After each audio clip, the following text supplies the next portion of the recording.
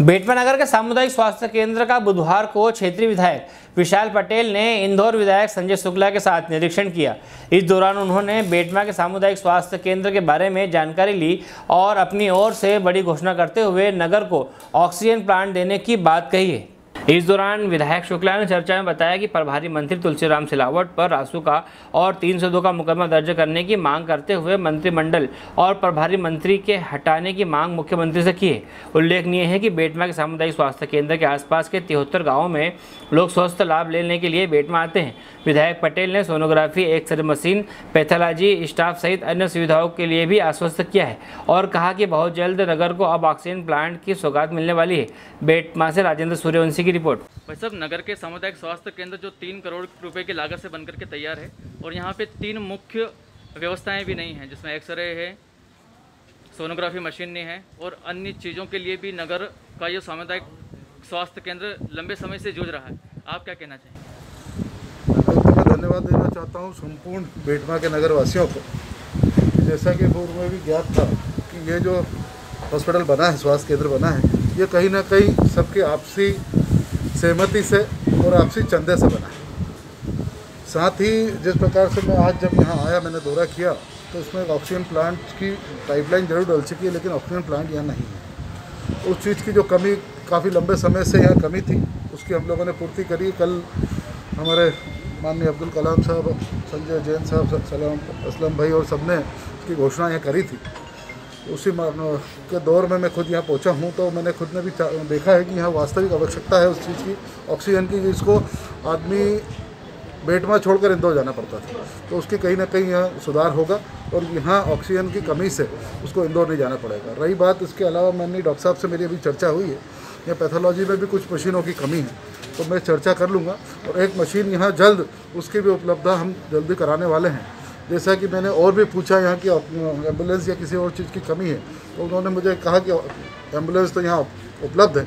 इसके अलावा भी अगर डॉक्टर साहब मुझे कहेंगे कि जिस जिस किस चीज़ की कमी रहेगी, उस चीज़ को हम उपलब्ध कराने का पूरा प्रयास करेंगे और जल्द से जल्द करेंगे। प्रभारी मंत्री तुलसी सिलावट की धर्मपत्नी के जो ड्राइवर हैं, पुनीत अग्रवाल, उनके रेमडिस सीवियर इंजेक्शन की कालाबाजारी में नाम आए।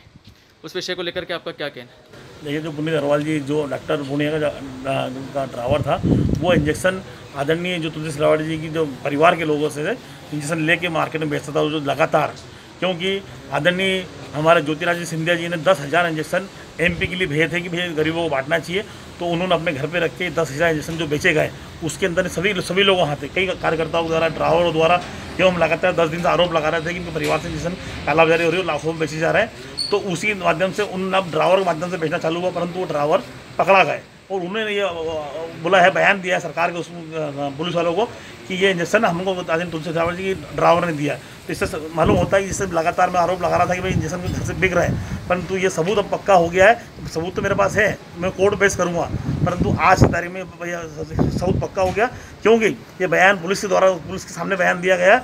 उसके बावजूद अब ये मुझे लगता है कि जो वहाँ के जो टी आई हैं, उनको भी शाम तक या कल तक लाइन टेस्ट कर दिया क्योंकि ये जो बयान सरकारी होता है, क्योंकि भारतीय जनता पार्टी खिलाफ है और मंत्री खिलाफ है।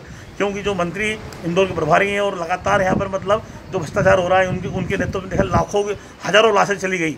ना उन्होंने कोई अस्पताल की व्यवस्था करी है, ना कोई इंजेक्शन की व्यवस्था करी, ना ऑक्सीजन की व्यवस्था करी।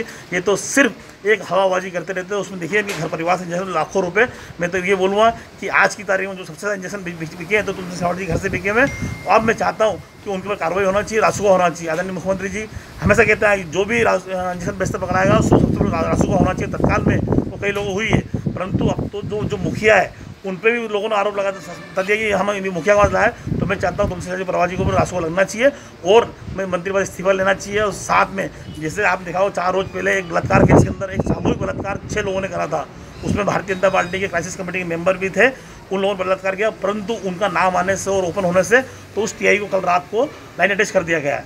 और ऐसे मतलब जो बेचारा ढंग से काम कर रहे हैं, जो ईमानदारी से काम कर रहे हैं, उसको भारतीय जनता पार्टी द्वारा ये इनाम दिया गया कि आपने भाई भारतीय जनता पार्टी लोगों नाम क्यों लिया और उसको लाइन अटैच कर दिया। तो ऐसे ही मुझे लगता है कि भाई जो विजयनगर डी है, उनको भी आज शाम तक लाइन अटैच कर देंगे। परंतु मुख्यमंत्री मांग करता हूँ, मांग करता हूँ कि आपका सपनों का शहर है, इसके अंदर जो प्रभारी मंत्री इनको तत्काल रूप से इनका इस्तीफा लेना चाहिए जिससे इंदौर शहर में जो लाखों लाशें हुई हैं, ढेर हुआ, ये सब मुख्यमंत्री जी अपने प्रभारी मंत्री जी का है, क्योंकि वो लगातार इंदौर में हम एक महीने से आदरणीय विशाल पटेल जी, अध्यक्ष जी विनय वाकला जी, हम लगातार एक महीने से बोलते आ रहे थे कि भैया सेवा को अस्पताल चालू कीजिए एम चालू कीजिए, चाचा नेहरू का चालू कीजिए हॉस्टल चालू कीजिए, नर्सिंग कॉलेज चालू कीजिए, परंतु उन्होंने एक भी चालू नहीं करा, इसलिए चालू नहीं करा कि कई अस्पतालों में इन लोगों को कमीशन मिलता था, इसलिए इन्होंने ये चालू नहीं करा और आज लाखों जो जाने गई है, उसके मुख्य मुख्य आरोपी आदरणीय तुलसी सिलावट जी है, इनको तत्काल तीन सौ दो लगना चाहिए और उनको बर्खास्त करना चाहिए और साथ में इंदौर शहर के अंदर जो नए आदरणीय मुख्यमंत्री सपना शहर देखिए, आज इंदौर में आने वाले थे। परंतु बेचारा सरंग महाराज इंदौर में नहीं आए। इसलिए नहीं आए कि हमारा जो मंत्री, जिसको हमने मंत्री बनाया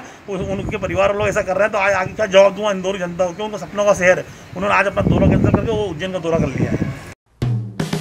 हेलो फ्रेंड्स आप देख रहे हैं हमारा channel S W twenty four news हमारे सारे वीडियो सबसे पहले देखने के लिए आप हमारे चैनल को सब्सक्राइब करें और पास में लगे बेल आइकोन को दबाना बिल्कुल भी ना भूलें।